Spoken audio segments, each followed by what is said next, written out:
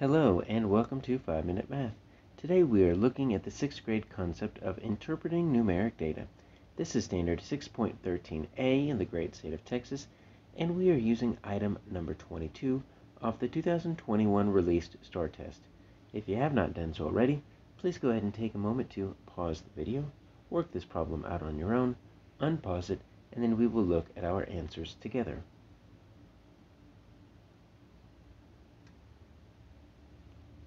So we have a box plot, sometimes called a box and whisker plot, and it's just a different way to show data. And so we need to find a statement that is best supported by the data, but first let's figure out what our data actually says. So we actually have data, and it ranges from 15, so that's our very lowest piece of data, up to 30. That's our biggest piece of data. And what you need to see is that there are four sections, or there are four quartiles here. Four quarters would be another way to say it. And so each section or each quartile is not exactly spread out evenly based on the data, but each section represents one fourth or 25% of our data. So we've got our first quartile here. I'm just going to put first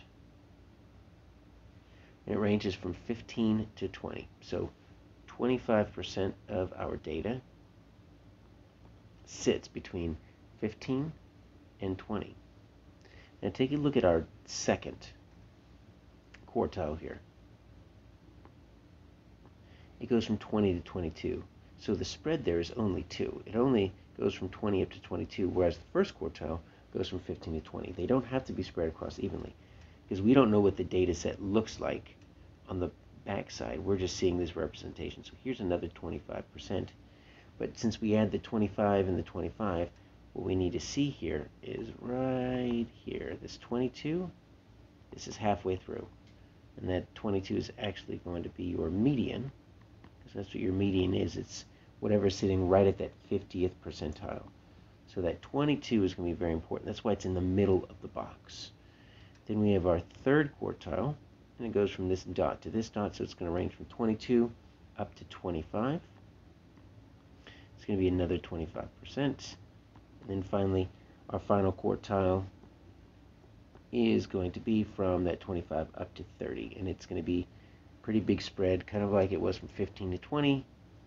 So what we see here is that our box right here, it's called a box and whisker because it's got a box. This box represents everything from the end of the first quartile to the third quartile.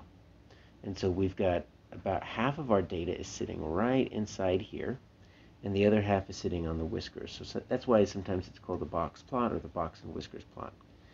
And so we're just looking at this box to represent the middle 50% on either side of the median. So that's what this box plot says. Once we know all that, answering these questions are going to be fairly simple. So approximately 50% of the finishing times were less than 25 minutes.